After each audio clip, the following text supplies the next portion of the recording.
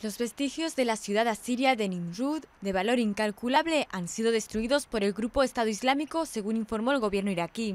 Fundada en el siglo XII a.C., la ciudad a orillas del río Tigris fue la capital del imperio asirio. Formaba parte de la lista indicativa del Patrimonio Mundial de la UNESCO, por lo que la organización calificó este acto de crimen de guerra. El grupo Estado Islámico comenzó el jueves a destruir con excavadoras las ruinas de Nimrud, aunque se estima que la maquinaria de demolición comenzó a colocarse la semana pasada. Los responsables iraquíes todavía no han podido evaluar los daños causados. Un duro golpe para el país. En la capital, este viernes, eran muchos los que mostraban su consternación. Hace que me duela el corazón, porque eso tiene que ver con nuestra civilización.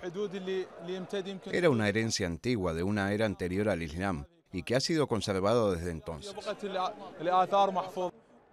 La destrucción se dio a conocer una semana después de que se publicara un vídeo en el que el grupo Estado Islámico aparece destruyendo estatuas a golpe de martillo en un museo de Mosul, muchas de ellas procedentes de Nimrud.